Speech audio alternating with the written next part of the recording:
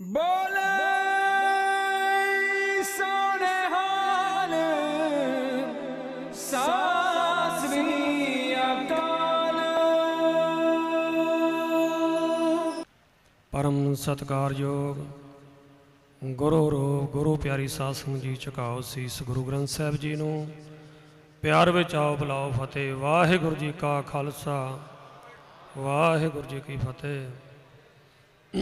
ਸਭ ਤੋਂ ਪਹਿਲਾਂ ਗੁਰੂ ਕੀ ਸੰਗਤ ਨੇ ਉੱਚੀ ਆਵਾਜ਼ ਦੇ ਵਿੱਚ 2 ਮਿੰਟ ਵਾਸਤੇ ਸਤਨਾਮ ਵਾਹਿਗੁਰੂ ਦਾ ਜਾਪ ਕਰਨਾ, ਫਿਰ ਗੁਰੂ ਕੀ ਸੰਗਤ ਨਾਲ ਵਿਚਾਰਿਆਂ ਸਾਂਝੀਆਂ ਕਰਾਂਗੇ। ਕੁਰਸਨਾ ਖਾਲੀ ਨਾ ਰਹੇ ਜੇ, ਉੱਚੀ ਆਵਾਜ਼ ਦੇ ਵਿੱਚ ਸਾਰਿਆਂ ਨੇ ਬੋਲਣਾ। ਸਤਨਾਮ ਵਾਹਿਗੁਰੂ ਸਤਨਾਮ ਵਾਹਿਗੁਰੂ।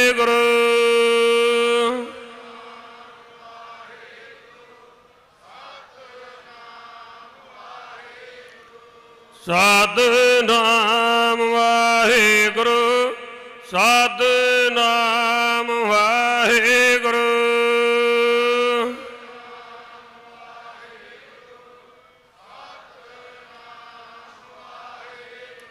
ਸਤਨਾਮ ਵਾਹਿਗੁਰੂ ਸਤਨਾਮ ਵਾਹਿਗੁਰੂ।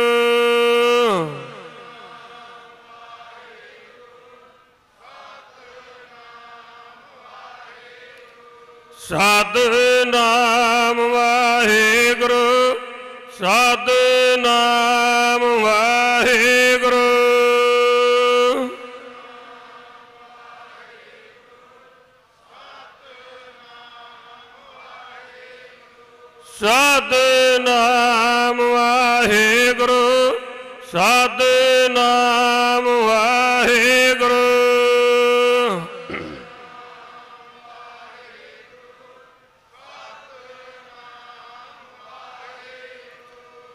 ਜੇ ਤਹੁ ਪ੍ਰੇਮ ਖੇਲਣ ਕਾ ਚਾਓ ਸਿਰ ਤਰ ਤਲੀ ਗਲੀ ਮੇਰੀ ਆਓ। ਇਤ ਮਾਰਗ ਪੈਰ ਧਰੀਜੈ, ਸਿਰ ਦੀਜੈ ਕਾਨ ਨਾ ਕੀਜੈ ਭਾਈ ਚਾਨਣ ਸਿੰਘ ਜੀ ਕਵੀਸ਼ਰ, ਉਹ ਆਪ ਜੀ ਨਾਲ ਹੁਣੇ ਵਿਚਾਰਾਂ ਸਾਂਝੀਆਂ ਕਰਕੇ ਗਏ ਆ। ਇਹੋ ਜੇ ਮਹਾਨ ਯੋਧੇ, ਮਹਾਨ ਸੂਰਬੀਰ, ਜਿਨ੍ਹਾਂ ਨੇ ਧਰਮ ਤੋਂ ਆਪਾ ਵਾਰਿਆ, ਚਾਹੇ ਉਹ ਸ਼ਹੀਦਾਂ ਦੀ ਦੁਨੀਆ ਤੇ ਚਾਹੇ ਉਹ ਉੱਚੀ ਅਵਸਥਾ ਵਾਲੇ ਮਹਾਪੁਰਸ਼ ਬ੍ਰਹਮ ਗਿਆਨੀਆਂ ਦੀ ਦੁਨੀਆ। ਉਸ ਮੰਜ਼ਲ ਤੇ ਕੋਈ ਸੂਰਮਾ ਪਹੁੰਚਦਾ ਵਿੱਚ ਵਿਚਾਲੇ ਵਾਲਾ ਨਹੀਂ। ਕਿਉਂਕਿ ਜਿਨਨੇ ਨਾਮ ਜਪਣਾ, ਜਿਵੇਂ ਬਾਬਾ ਨਿਧਾਨ ਸਿੰਘ ਜੀ ਨੇ ਨਾਮ ਜਪਿਆ ਸੀ, ਤੇ ਬ੍ਰਹਮ ਗਿਆਨ ਦੀ ਦਾਤ ਪ੍ਰਾਪਤ ਕੀਤੀ। ਪਰ ਆਠ ਪੈਰ ਅਰਾਧੀਏ ਪੂਰਨ ਸਤਗੁਰ ਗਿਆਨ। ਅੱਠੇ ਪੈਰ ਹੀ ਸਿਮਰਨ ਕਰਨਾ। ਜਾਂ ਫਿਰ ਸ਼ਹਾਦਤ ਪ੍ਰਾਪਤ ਕਰਨੀ। ਪੰਥ ਦੇ ਸੀਸ ਲੇਖੇ ਲਾਉਣਾ, ਜੋ ਆਪਾਂ ਖੰਡੇ ਬਾਟੇ ਦਾ ਅੰਮ੍ਰਿਤ ਛਕਣ ਦੇ ਟਾਈਮ ਤੇ ਗੁਰੂ ਨੂੰ ਪਰਨ ਦਿੰਨੇ ਆ ਵੀ ਸਾਡਾ ਸੀਸ ਹਾਜ਼ਰ ਆ। ਉਹ ਸੀਸ ਹੀ ਲੇਖੇ ਲਾ ਦੇਣਾ। ਆਪਣਾ ਆਪ ਕੁਰਬਾਨ ਕਰ- ਦੇਣਾ, ਤਾਂ ਉਹ ਗੁਰੂ ਨੂੰ ਪਿਆਰਾ ਲੱਗਦਾ, ਗੁਰੂ ਦੀ ਗੋਦ ਵਿੱਚ ਜਾਂਦਾ। ਤਾਂ ਗੁਰੂ ਕੀ ਸੰਗਤ ਮਹਾਰਾਜ ਨੇ ਬਚਨ ਕੀਤਾ, ਜਬ ਲਗ ਰਹੇ ਖਾਲਸਾ ਨਿਆਰਾ ਤਬ ਲਗ ਤੇਜ ਦੇਹੂ ਮੈਂ ਸਾਰਾ, ਜਾਬੇ ਗਏ ਬੇਪਰਨ ਕੀ ਰੀਤ, ਮੈਂ ਨਾ ਕਰੂੰ ਇਨਕੀ ਪ੍ਰਤੀਤ। ਕਲਗੀਧਰ ਪਾਤਸ਼ਾਹ ਨੇ ਕਿਹਾ, ਸਨ ਰਹਿਤ ਪਿਆਰੀ ਆ, ਸਿੱਖ ਨਹੀਂ ਪਿਆਰਾ। ਛੋਟੀ ਜੀ ਉਦਾਹਰਣ, ਗੁਰੂ ਕੀ ਸੰਗਤ ਜਿਵੇਂ ਅਨਕੜਤ ਲੋਹਾ ਹੁੰਦਾ, ਇਧਰ ਉਹਨੂੰ ਸਕ੍ਰੈਪ ਕਹਿ ਦਿੰਦੇ ਆ, ਮਾਰਟ 'ਚ ਭੰਗਾਰ ਕਹਿ ਦਿੰਦੇ ਆ।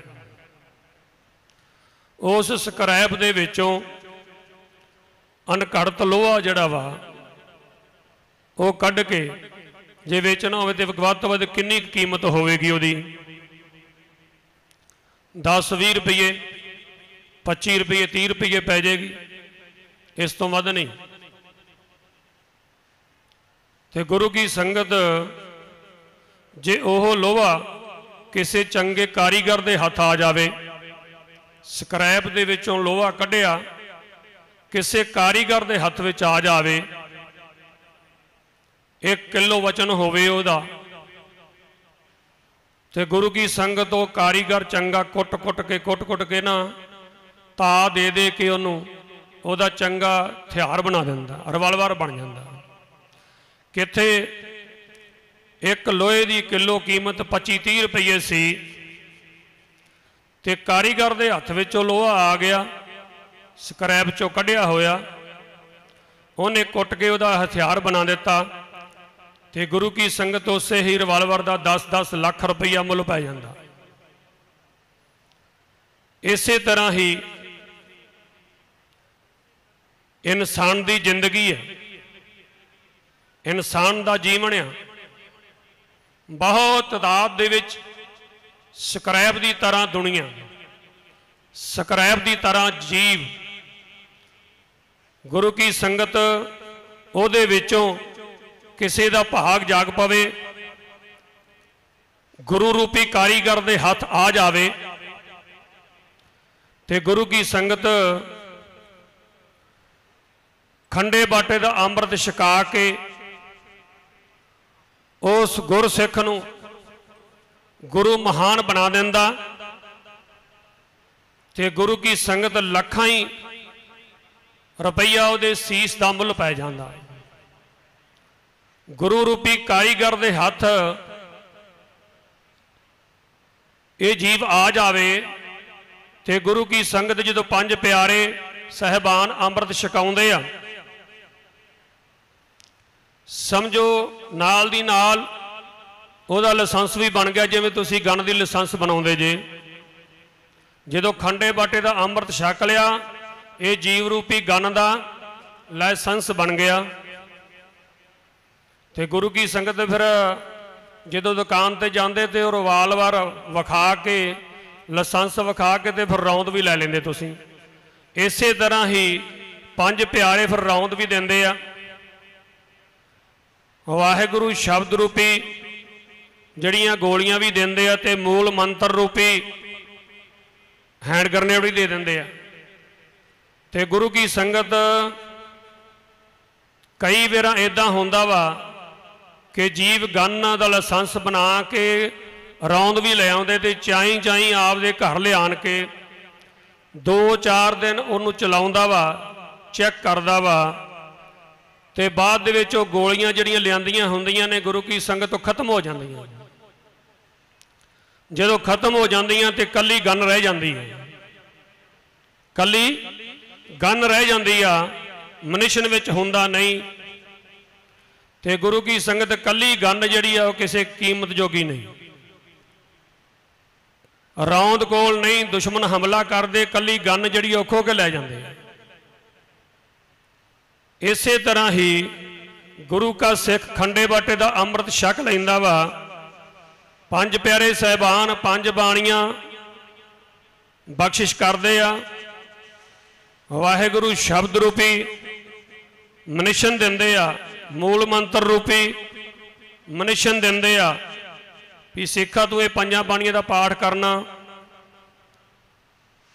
ਇਹ ਗੁਰਮੰਤਰ ਦਾ ਜਾਪ ਕਰਨਾ, ਮੂਲ ਮੰਤਰ ਦਾ ਅਭਿਆਸ ਕਰਨਾ, ਤਾਂ ਗੁਰੂ ਕੀ ਸੰਗਤ ਤੋਂ ਸਿੱਖ ਚਾਰਕ ਦਾ ਦਿਨ ਖੰਡੇ ਬਾਟੇ ਦਾ ਅੰਮ੍ਰਿਤ ਛਕ ਕੇ ਚਾਈ ਚਾਈ ਆਪਦੇ ਘਰ ਆਣ ਕੇ ਨਿਤਨੇਮ ਕਰਦਾ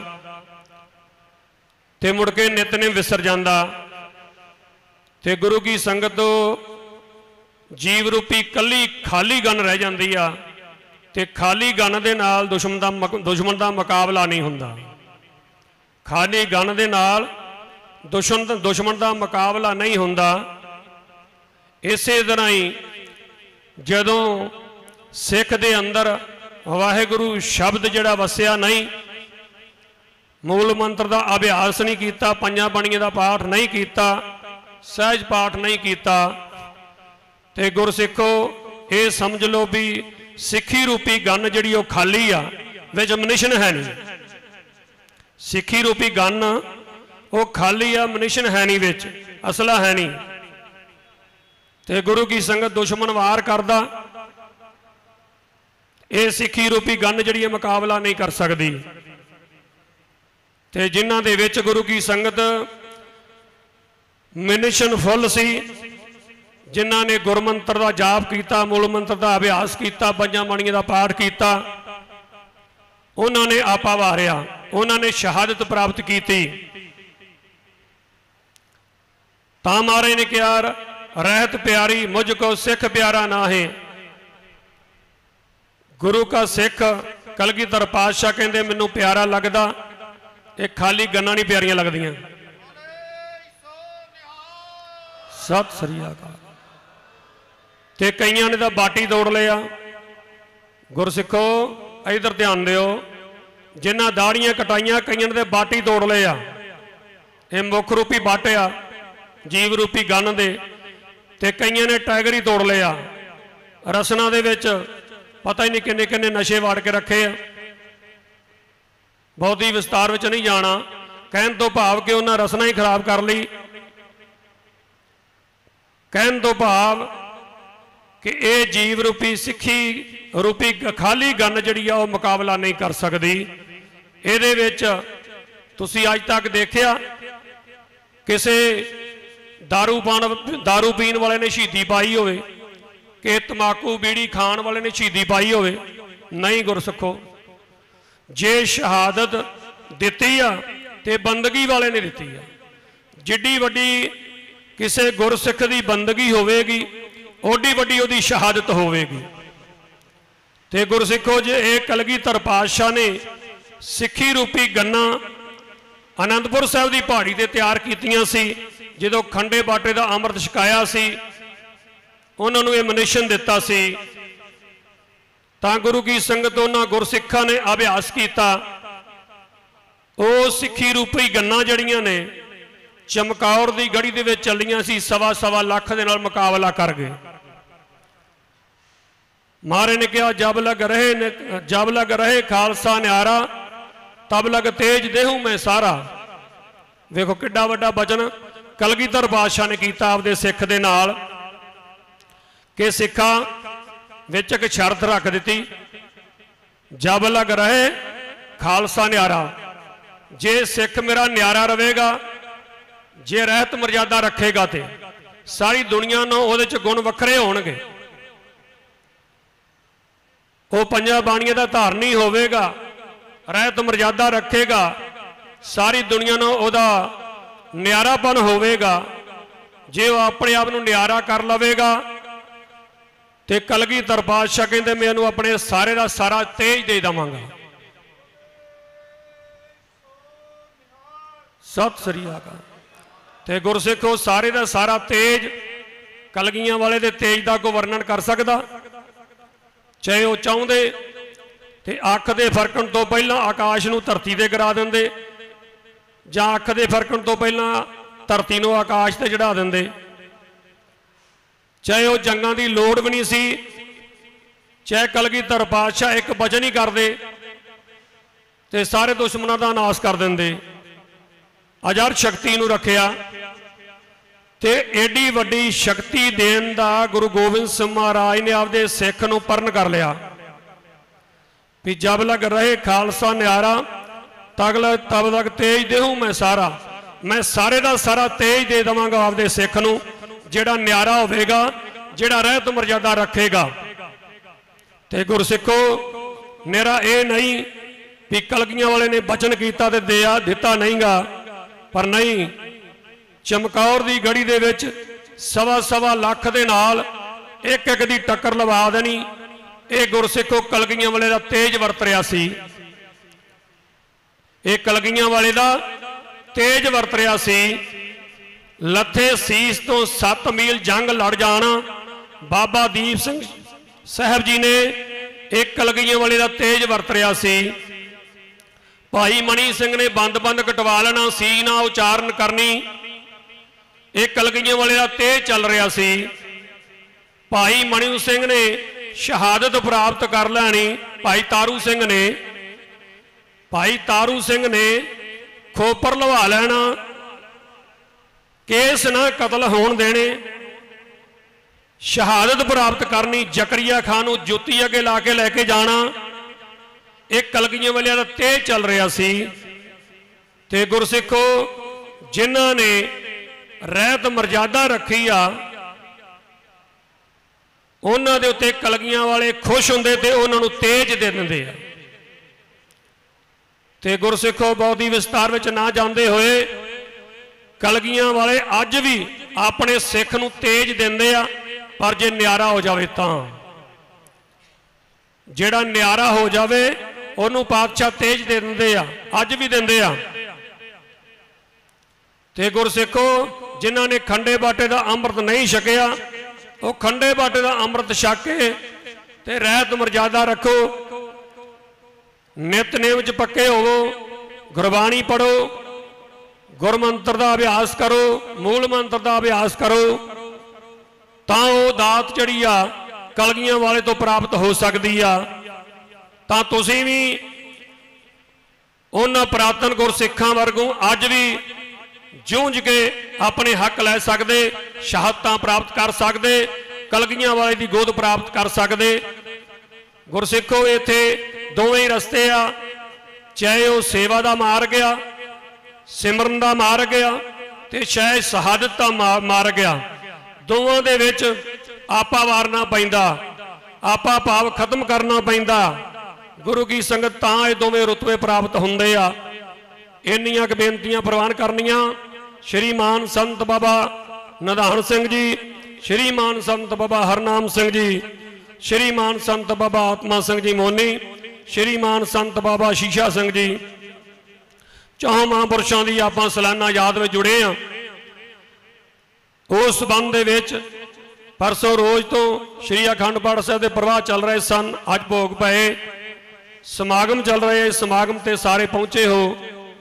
ਜਿੱਥੇ ਸਾਰੀਆਂ ਸਮੁੱਚੀਆਂ ਸੰਗਤਾਂ ਪਹੁੰਚੀਆਂ।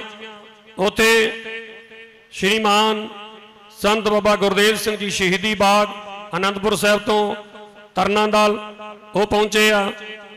ਸਿੰਘ ਸਾਹਿਬ, ਭਾਈ ਅਮਰੀਕ ਸਿੰਘ ਜੀ ਅੰਜਨਾਲੇ ਤੋਂ ਉਹ ਵੀ ਚੇਚੇ ਤੌਰ ਤੇ ਸਟੇਜ ਦੇ ਉੱਤੇ ਸ਼ਿਸ਼ੋਭਤ ਹਾਜ਼ਰੀਆਂ ਲਵਾ ਰਹੇ ਆ।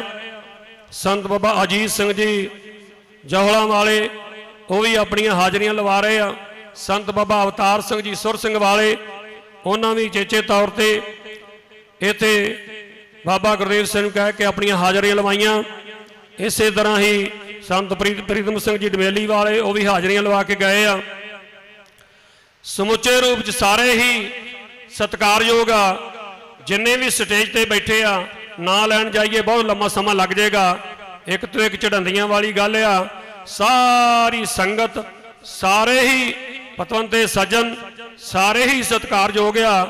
ਦਾਸ ਵੱਲੋਂ, ਬਾਬਾ ਬਲਵਿੰਦਰ ਸਿੰਘ ਜੀ ਵੱਲੋਂ, ਗੁਰਦੁਆਰਾ ਲੰਗਰ ਸਾਹਿਬ ਸ਼੍ਰੀ ਹਜੂਰ ਸਾਹਿਬ ਵੱਲੋਂ, ਇਸ ਅਸਥਾਨ ਦੇ ਉੱਤੇ ਗੁਰੂ ਕੀ ਸੰਗਤ ਬਾਬਾ ਗੁਰਮੀਤ ਸਿੰਘ ਜੀ ਤੇ ਭਾਈ ਜਿੰਦਰ ਸਿੰਘ ਜੀ, ਉਹ ਸੇਵਾ ਨਿਭਾ ਰਹੇ ਆ। ਔਰ ਵੱਧ ਚੜ ਕੇ ਇਸ ਇਲਾਕੇ ਵਿੱਚ ਉਹਨਾਂ ਨੂੰ ਸਾਥ ਦਿਆ ਜੇ। ਪਿਆਰ ਵਿਖਾਇਓ। ਗੁਰੂ ਮਹਾਰਾਜ ਕਿਰਪਾ ਕਰਨ, ਜਿਸ ਤਰ੍ਹਾਂ ਬਾਬਾ ਗੁਰਨਾਮ ਸਿੰਘ ਜੀ ਨੂੰ ਪਹਿਲਾਂ ਸਾਥ ਦਿੰਦੇ ਰਹੇ ਇਸੇ ਤਰ੍ਹਾਂ ਹੀ ਬਾਬਾ ਗੁਰਮੀਤ ਸਿੰਘ ਜੀ ਨੂੰ ਸਾਥ ਦੇਣਾ ਤੇ ਗੁਰੂ ਕੀ ਸੰਗਤ, ਸਾਰੀ ਸੰਗਤ ਦਾ ਧੰਨਵਾਦ। ਹੋਈਆਂ ਗਲਤੀਆਂ, ਭੁੱਲਾਂ ਦੀ ਮਾਫੀ ਚੁਕਾਓ ਸੀਸ ਗੁਰੂ ਗ੍ਰੰਥ ਸਾਹਿਬ ਜੀ ਨੂੰ। ਪਿਆਰ ਵਿੱਚ ਆਓ, ਬੁਲਾਓ ਫਤਿਹ। ਵਾਹਿਗੁਰੂ ਜੀ ਕਾ ਖਾਲਸਾ, ਵਾਹਿਗੁਰੂ ਜੀ ਕੀ ਫਤਿਹ। बोल